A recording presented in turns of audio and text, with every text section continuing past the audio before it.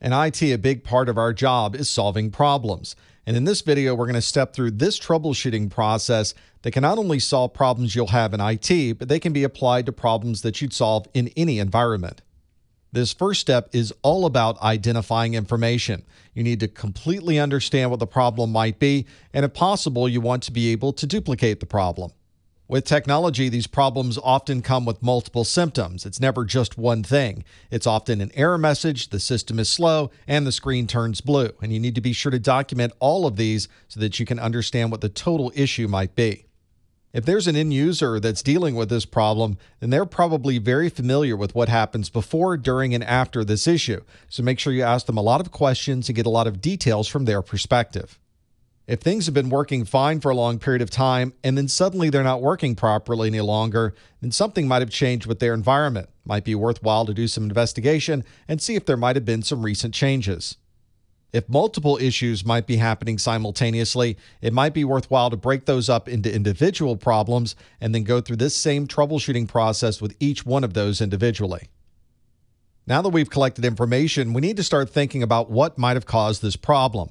We can start with the most obvious issues. The simplest explanation is often the most likely. That doesn't mean it's the only possible thing that might be happening. You need to consider every possible scenario, even the ones that might not be completely obvious.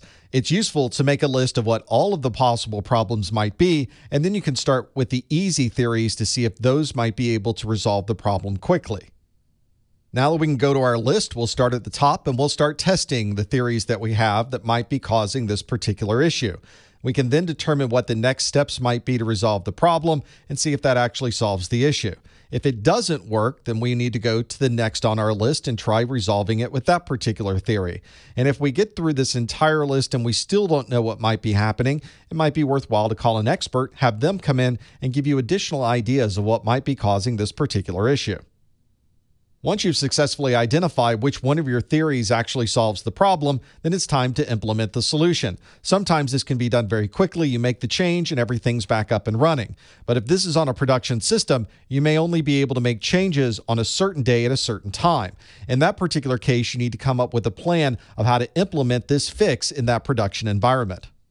Even the best laid plans, of course, don't always work as expected, so it's not only good to have a primary plan of how to resolve this, but also a plan B or perhaps a plan C. And ultimately, you may need a plan to revert back to the previous configuration if nothing goes right. When your change control window arrives, you can execute on your plan, you can implement the fix, and hopefully everything happens in the way that you planned it. You may have to escalate this, especially if it's a critical problem, and go outside of your change control window. It may require help from a third party, especially if your timeframes are very short. Once you've applied the fix, you still have to test and make sure that your fix actually solved the problem. You can test this yourself, and you may even want to consider bringing in your customer because they'll be the ultimate arbiter on whether this problem was really resolved. Now that the problem has been implemented, you've tested, and everything's back to normal, it might be worthwhile to create some preventative measures so that this problem doesn't occur in the future.